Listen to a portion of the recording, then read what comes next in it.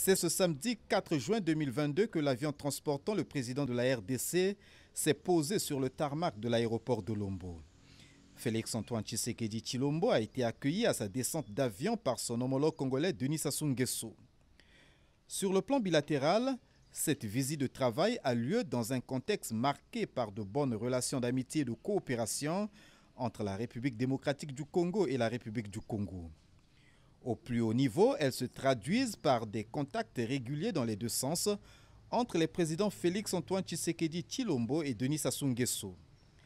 La dernière fois que les deux personnalités se sont rencontrées à Oyo en bilatéral, c'était en février 2022 en marge de la quadripartite réunissant les présidents Félix-Antoine Tshisekedi de la RDC, Yoweri Museveni de l'Ouganda, Fornia Simbe du Togo et Denis Sassou Nguesso du Congo.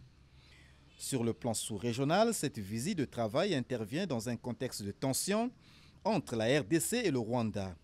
Kinshasa accusant Kigali de soutenir les rebelles du M23 qui ont repris les hostilités à l'est de la RDC.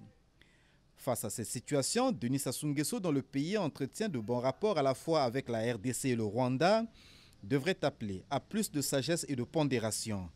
Le temps de finaliser les derniers réglages avant le sommet appelé à se tenir prochainement à Luanda.